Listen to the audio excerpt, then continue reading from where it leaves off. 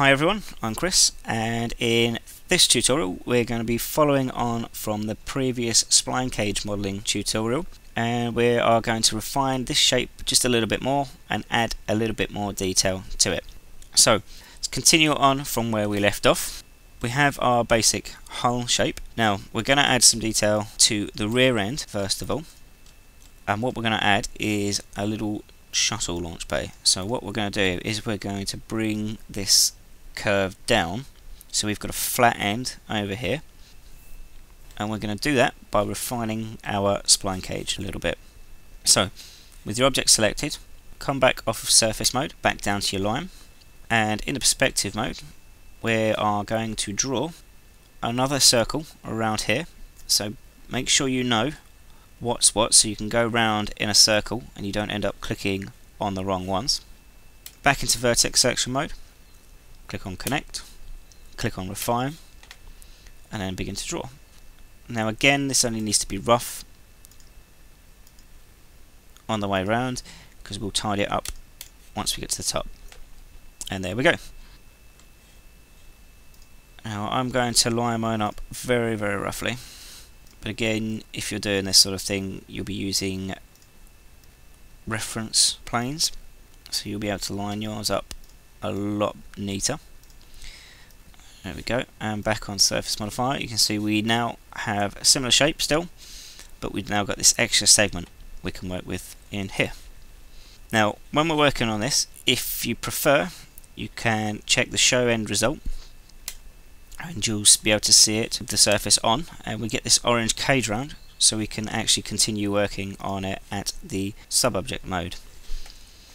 So to get this shape what I'm going to do is I am going to select this one at the back here I'm going to bring it down a lot flatter like so. This one on the top which is the next one in I'm going to bring that across. I'll right click on it and I'm actually going to turn it to a Bezier corner and what I'm going to do is just pull this in and down a bit. Same here. I'm going to select this and the one below it. I'm going to bring those roughly up to level. There we go. Bring these back. And now we have a bit more of a defined shape on the rear of it there. This is where you really need to be confident with working in a 3D environment, otherwise this can get quite confusing and, and can also be quite frustrating if you don't get it right. So I'm just tidying mine up a little bit.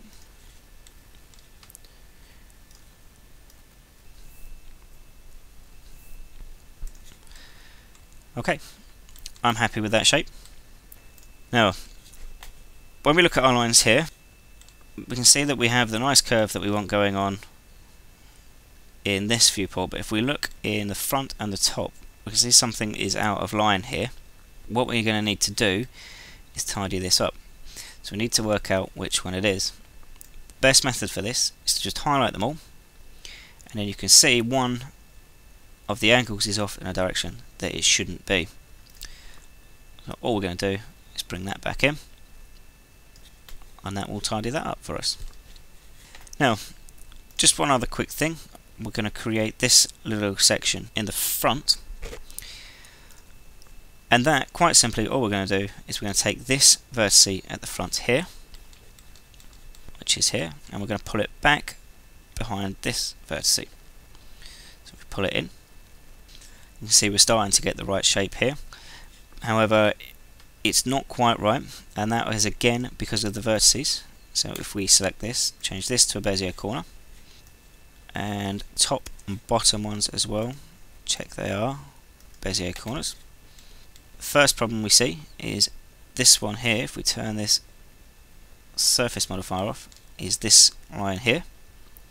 So I'm going to bring that one out a bit, just to give it a nice curve.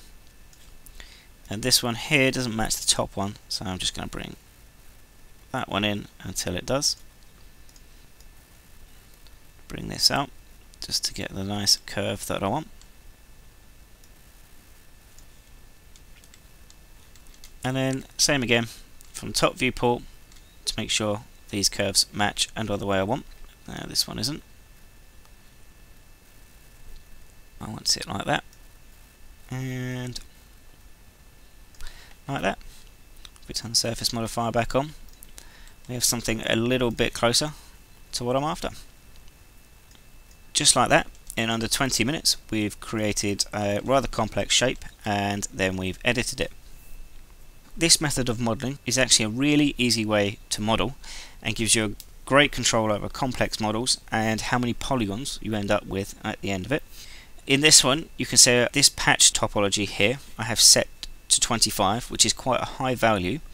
It gives you a lot smoother curves and it also adds a lot more polygons. So, if we were to turn the statistics on, this one, and convert this object to an editable poly with the steps at 25, you can see our polys is 13,520. If we were to control Z and put the steps down to 5 and then convert this to an editable poly you can see now we only have 720 polygons so it's entirely up to you how smooth you want your model to look and how many polygons you want that's it for this tutorial. If you have any questions feel free to post in the comments. Thank you very much